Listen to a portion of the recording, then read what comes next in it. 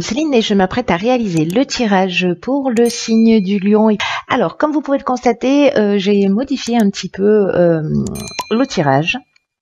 Et donc du coup j'ai rajouté euh, des cartes en plus des cartes de l'oracle des nombres et de, l'oracle du verso, pardon, je commence fort, une carte de l'oracle de l'âme intuitive et la carte issue de l'oracle les portes de l'intuition qui clôturait le tirage va l'ouvrir. Donc du coup on va commencer directement par celle-ci.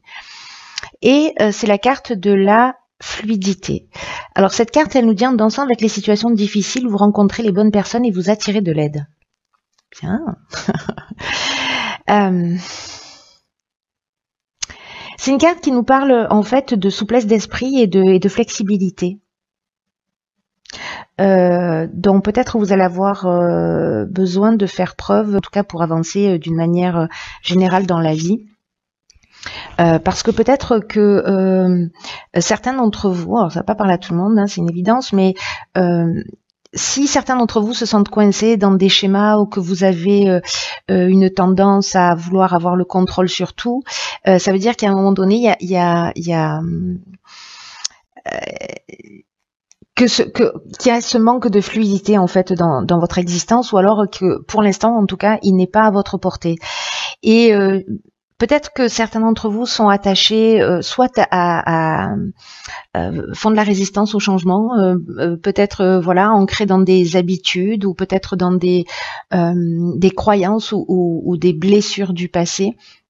Et donc là, en fait, on vous dit avec cette carte de la fluidité, mais pour moi aussi de la flexibilité, de prendre la résolution, si ça vous tente, de lâcher ces liens, de, couper avec tout ce qui est néfaste, parce que euh, là, c'est comme le moment d'accueillir euh, le mouvement de l'existence, euh, voyez, de, de, de, faire du vide pour faire du plein et de larguer les amarres, quoi. Il n'y a que comme ça, en fait, j'ai l'impression que pour les personnes hein, qui se sentent bloquées, encore une fois, ou qui se sentent coincées dans des situations ou dans des schémas, euh, ou qui ont ce besoin euh, en permanence de, de, contrôler toutes les situations, euh, on vous dit que en faisant preuve de, de, fluidité, en dansant avec les situations qui sont difficiles, en, en, en vous reconnectant à cette, à cette énergie, vous pouvez changer les choses et puis vous pouvez vous, vous, vous programmer euh, un meilleur avenir, un meilleur devenir. Euh, euh, une, la meilleure version de vous-même. Donc c'est peut-être en apprenant à faire des nouvelles choses, à vous comporter d'une manière différente, euh, voilà, pour attirer d'autres opportunités. Alors, ensuite, nous avons sur la première ligne, l'amour, que c'est beau, la carte de l'amour qui parle de, sincérité, hein, peut-être vis-à-vis de soi, qui parle de passion, d'amour inconditionnel, de communication avec euh, son partenaire ou avec l'autre. Partenaire qui peut, qui peut être euh, simplement la personne en face de vous, euh, pas forcément sur le plan sentimental, mais aussi. Hein. Waouh. La carte de l'éveil, d'accord. Je crois qu'il y a des prises de conscience. La carte de la trahison, la carte des chakras et la carte du karma. Alors, il y a beaucoup de cartes. Est-ce qu'on voit tout? Hop. Voilà, c'est mieux, c'est plus clair. Ok. Par quoi je commence? Hmm. Je vais commencer par la carte de l'amour parce que c'est juste une énergie magnifique. Mais enfin, ces deux cartes, elles sont juste magnifiques. Euh, la carte de l'amour, c'est une carte qui, qui, qui nous dit que il y a autant de définitions de l'amour que d'être humain. Euh, et que même si l'amour, le sentiment de l'amour, c'est quelque chose qui devrait être naturel, c'est sûrement une des choses les plus euh, euh, difficiles qui soit dans la vie. D'aimer d'une manière inconditionnelle, d'aimer sans attachement, de s'aimer soi. s'aimer soi, c'est peut-être la chose la plus compliquée. en tout cas, de ne mettre aucune condition dans l'amour. D'être vraiment euh, centré euh, euh, sur le cœur. Alors là, je, je, pense à cette carte de la, de la fluidité avec cette notion de contrôle, d'ancrage ou peut-être de blessure du passé. L'amour, c'est aussi accepter de laisser partir des, des situations euh, et, de créer une, une, passion en vous euh, pour pour permettre, c'est-à-dire de, de, cette notion de larguer les amarres, de laisser des choses derrière vous, qu'on vous euh, qu'on vous propose là aussi une occasion de de, de, de, de laisser la place à la naissance d'une d'une d'une communion que vous allez peut-être euh, euh, vivre soit avec quelqu'un d'autre, soit avec vous-même. Là, on vous dit aussi euh, de laisser les autres euh, libres de suivre leur chemin, leur évolution d'âme.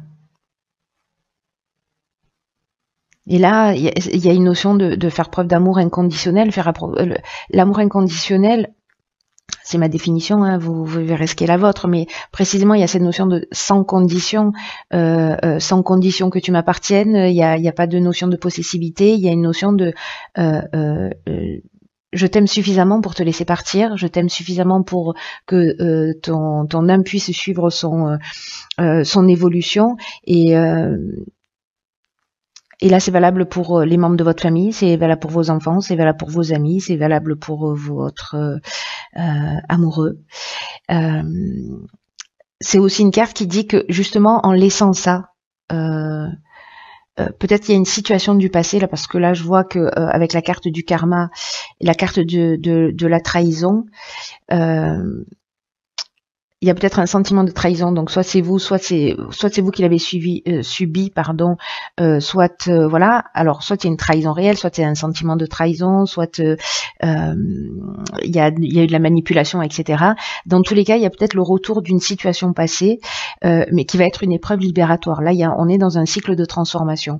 Donc soit on va devoir assumer ce qu'on a fait, soit on va devoir pardonner voilà, laisser partir, ok, euh, rentrer dans cet amour inconditionnel, parce que le fait de faire ça, là, de, cette épreuve libératoire liée à une à une trahison, un sentiment de trahison, euh, une blessure du passé, c'est ce que nous dit la carte de la fluidité aussi. Hein, euh,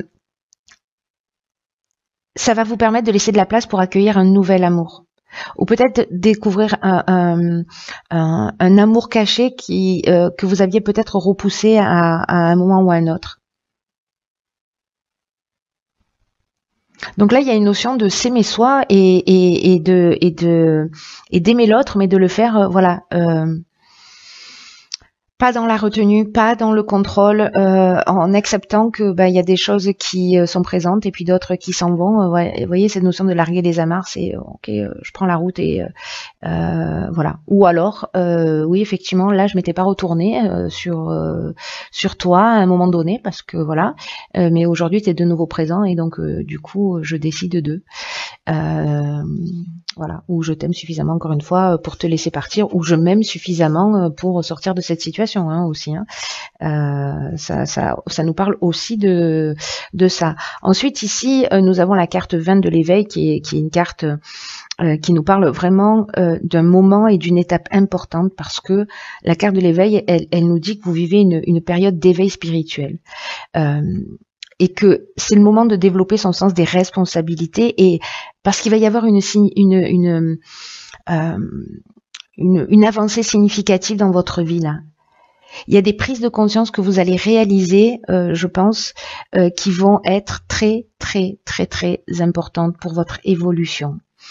Donc, on vous demande de, vivre, euh, de recevoir, d'accepter cet éveil comme un cadeau, une chance d'ouvrir votre esprit, mais surtout d'ouvrir votre cœur de façon à vivre tout ça pleinement. Parce que là, vous allez franchir un cap. Euh, vous allez changer. Euh, oh pétard.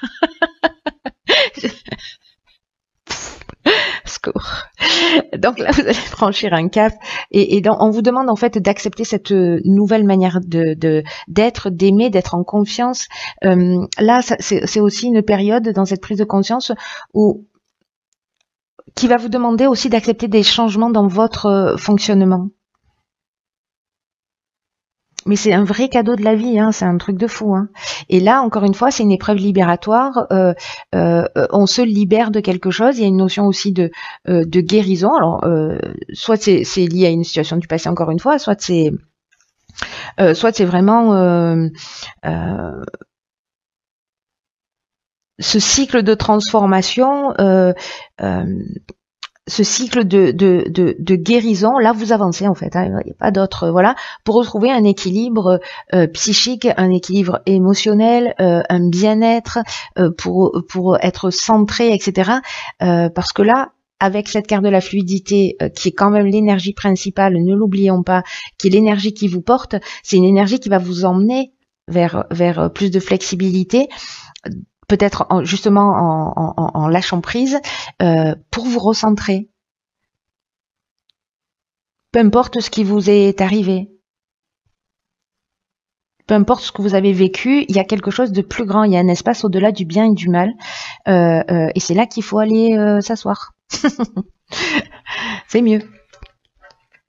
Et en tout cas, c'est, cette libération, c'est aussi une chance, encore une fois, de vous ouvrir la porte à un nouvel amour ou en tout cas une nouvelle manière d'aimer. Ici, nous avons... Vous avez une question? Allez-y, posez-vous une question. Ok, c'est bon? Vous mettez sur pause au pire, hein, parce que je peux pas rester comme ça 10 minutes. la réponse est oui. Ok, je vais tirer notre carte hein, sur celle-ci. Euh, là, nous avons la carte numéro 3 de l'ouverture. Je vais faire comme ça, du coup. Euh, nous avons la carte... Oh, pétard. Nous avons la carte de l'ascension nous avons la carte de l'éloignement et nous avons la carte de l'instabilité.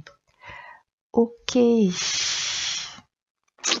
vais tirer une autre carte là euh, sur le oui pour savoir de quoi on est en train de parler. Ah ok. Waouh. Alors, ok. Il y en a trois qui sont sortis. Je vous, les, laisse. Elles sont juste magnifiques. Donc nous avons ici la carte de l'aube, qui est la carte des nouveaux commencements, des nouveaux horizons, de la naissance, de la régénération. Sérieux, c'est drôle ou pas? Ici, nous avons la carte de nouveau, euh, qui, enfin, qui nous parle de ça aussi en termes de régénération, de guérison. C'est ce dont nous parlait aussi la carte du karma dans la ligne précédente, souvenez-vous. Hein il y a une notion de guérison, mais il y a aussi une notion de paix, de lâcher prise. Ce que nous dit exactement où est-elle euh, euh, cette carte-là? Paix, repos, lâcher prise, euh, calme. Elle ressemble, hein? Vous trouvez pas? Ok, bah, au cas où c'était pas bien entendu, maintenant c'est clair. Et ici, nous avons la carte de l'été. Voilà. c'est drôle parce que dans la carte de la fluidité, on a euh, on a cette notion justement de larguer les amarres et de partir. Et là, en fait, cette carte dans dans les euh, dans ce qu'elle propose, il y a marqué monter à bord. Et en plus, c'est la carte 36 euh, de ce que je suis en train d'observer. Et la carte 36, ça fait 9 et 9, c'est vraiment la fin d'un cycle pour partir sur quelque chose de nouveau. Hein. Voilà. Donc là, c'est peut-être aussi une préparation. Euh, cette prise de conscience pour quelque chose qui va se produire cet été. Et que maintenant, là, euh, sur le printemps, c'est aussi la période de guérison, la période de compréhension, la période de, je monte euh, la marche euh, supérieure. Parce que dans tous les cas, quand on fait ça, on ne refait pas marche arrière. Hein.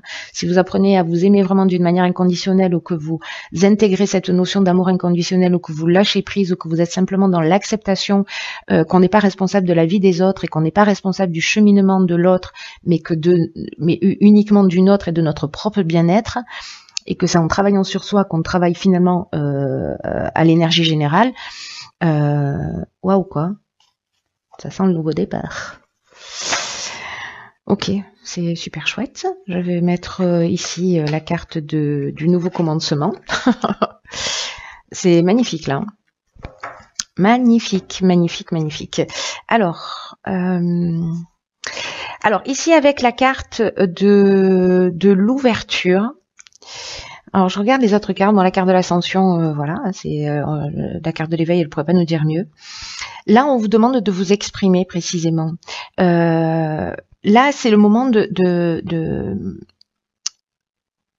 de, de, mettre à profit euh, un peu tout ce que vous avez euh, appris, crier ce que vous avez appris, parce que là, le 3, euh, c'est le 3, ça, ça, nous parle de, de, créativité, ça nous parle de communication, et, et là, ça nous parle en fait de d'ondes qui sont très positives et qui vont permettre, je vous le donne en mille, d'apporter de la fluidité dans votre vie.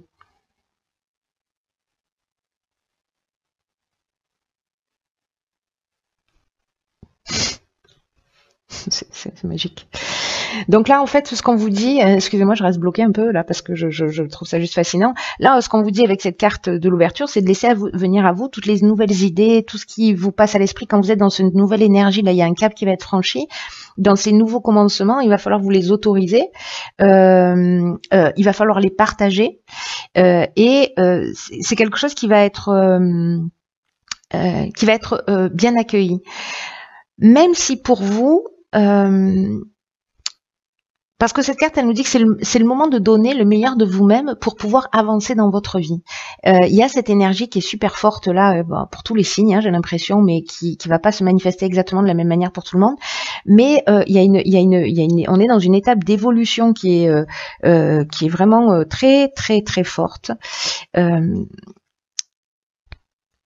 Une, une, une, étape d'ascension de, de voilà. Même si ça va générer peut-être à un moment donné une forme de là on a la carte de l'instabilité ça veut dire que peut-être on va être un peu euh, euh, on va se sentir peut-être un peu en déséquilibre euh, ou peut-être on va avoir l'impression de perdre le contrôle d'une situation parce que justement il y a des choses qui se bousculent parce qu'on va changer ses repères, on va on va changer sa, sa, sa, manière de voir les choses, il y a cette ouverture qui va se créer. pour moi, c'est il y a la carte de l'éveil et pour moi le 3 c'est aussi une ouverture de conscience. Euh, on aurait la carte de l'illumination, euh, je j'aurais pas dit mieux quoi.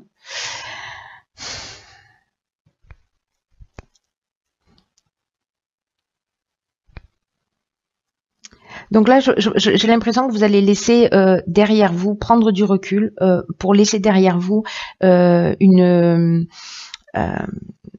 une situation, un mode de fonctionnement, euh, il y, a, y, a, comme un détachement, un lâcher prise. Il y a aussi une prise d'indépendance. Il y a une notion de, de libération, euh, de coupure avec quelque chose. Et c'est peut-être justement en, en acceptant avec cet amour de laisser partir une situation du passé. Hein.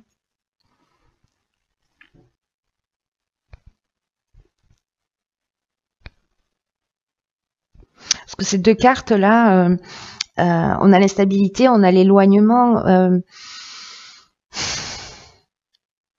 il y, a, vraiment une notion de peut-être ça va générer un peu de, de, déséquilibre, mais mais voilà, enfin c'est euh, en fait c'est trop beau.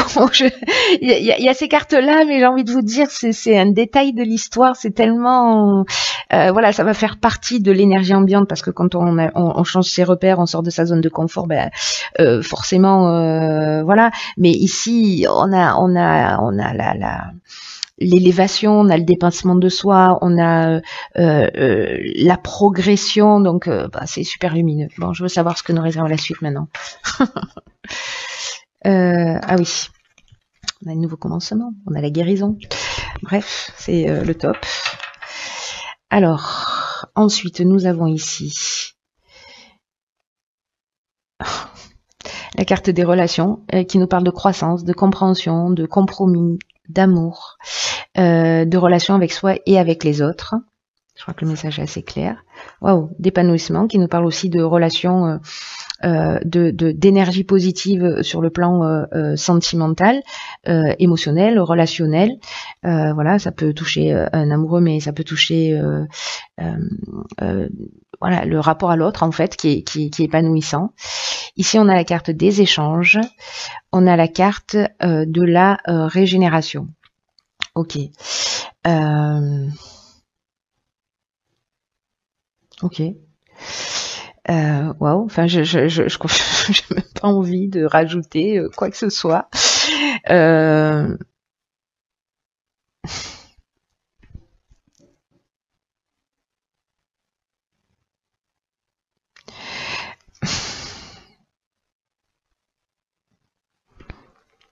La carte de, de, de l'épanouissement, comme je vous le disais, il y a vraiment un rapport de c'est fou parce que en fait, euh, toutes les cartes de votre tirage euh, se parlent. Euh, et notamment là, parce que du coup j'essaie de faire des connexions, hein, cette carte de la fluidité qui nous dit aussi que s'il y a une relation, euh, qu'elle soit sentimentale, etc., ou, euh, ou peu importe, euh, ou peut-être là avec ce sentiment de trahison qu'on a vu sur la sur la première ligne, on nous dit que, alors c'est peut-être pas cette personne, mais l'idée c'est c'est de se dire que même s'il y a des incompréhensions passagères dans une situation, la communication, le partage, là on est dans la recherche de solutions et on les trouve et on va s'accorder un nouveau départ. Et là, on est vraiment, c'est comme si pour moi, au-delà d'une personne, au-delà, mais je, pense que c'est peut-être, ça va rentrer dans, il y a une situation qui va se proposer à vous pour comprendre ça, pour avancer là-dessus, pour amener cette fluidité, pour emmener ce lâcher prise, pour emmener cette, euh, cette nouvelle énergie, pour amener cette énergie de guérison. Donc il y a peut-être une situation que vous vivez, que,